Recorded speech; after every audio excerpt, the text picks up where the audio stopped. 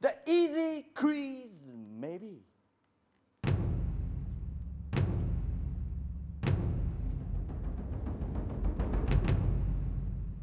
Let's go!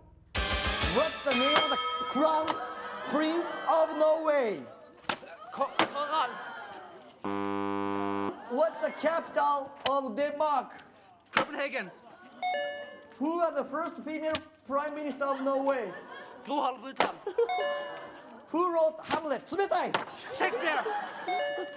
What is the longest river in Norway? What? What is the longest river in Norway? Uh, yes, sir. Who played Forrest Gump? Uh, Leonardo DiCaprio.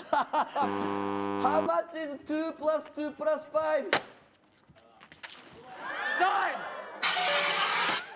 What is the say correct? What is the currency in England? pounds Which color do you get if you mix blue and red? green